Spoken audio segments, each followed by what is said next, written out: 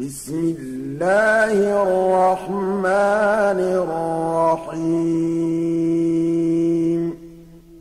ألهاكم التكاثر حتى زرتم المقابر. كلا سوف تعلمون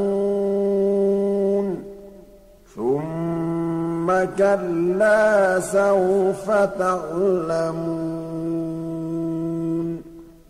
كلا لو تعلمون علم اليقين لترون الجحيم ثم لترونها اليقين. ثم لتسألن يومئذ عن النعيم